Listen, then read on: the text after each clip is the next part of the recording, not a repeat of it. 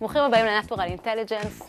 אנחנו חברת אינטרנט שמספקת אה, שירותי השוואות, ואנחנו מאפשרים ללקוחות לקבל אה, החלטות באופן מושכל ובקלות. ממש גוגל פה. ממש.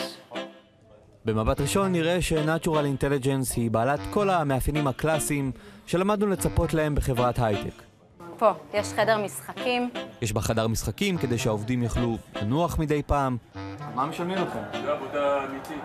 פינות ישיבה עם ספות מעוצבות למקרה שהם לא נחו מספיק, ומה פה, זה פינות ישיבה? כן? יש הרבה פינות ישיבות. ואפילו חדר שבהגדרה נועד למנוחה. יש פה ספת מסאז' וטלוויזיה. זה נעים. אני לוקחת אותך עכשיו לחדר מוזיקה שלנו. יש לנו להקה שמוביל אותה דוידי משב"כ סמך. כן, אבל אני לא יודע אם זה טיפוסי שיש מערכת תופים וגיטרות ולהקה במקום העבודה. זה אולי לא טיפוסי, אבל אנחנו אוהבים לעשות דברים אחרת. מה שבאמת מיוחד בנו זה שאנחנו חברת הייטק, חברת אינטרנט, ואנחנו מחפשים אנשים שהם לאו דווקא מגיעים מהמקצועות הטכנולוגיים, המדעיים, ההייטק הקלאסי. יש לנו מנהלת פיתוח עסקי שלמדה תיאטרון, עורכי דין שעשו הסבת מקצוע והיום הם אה, אנליסטים שיווקיים.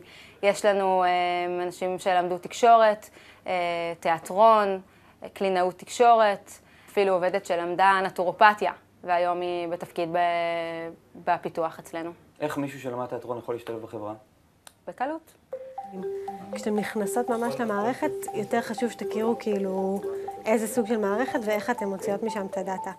כן. השתחררתי משירות צבאי בדובר צה"ל, הייתי מפיקה במוסף סוף שבוע של מעריב, הייתי מרכזת הדרכה בתנועת הצופים, כמובן מלצרתי כמו כולם, גם הדרכתי קצת בחוגי רטוריקה לילדים, אה, ואז הגעתי למשרד החוץ והייתי חלק מקורס הצוערים.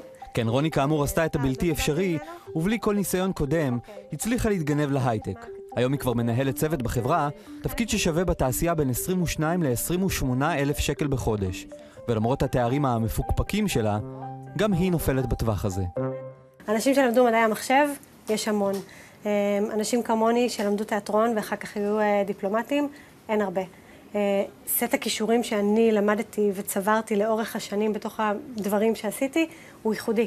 אני יודעת להתמודד במצבי לחץ, אני מאוד טובה בתקשורת עם אנשים, משא ומתן, זה כישורים שלא מלמדים אותך אה, בשום לימודי מדעים, אז זה הערך המוסף שלי.